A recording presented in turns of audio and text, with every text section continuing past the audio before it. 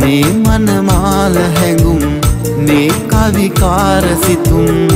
ඔබ හමුවන තුරු හමු නොවුනා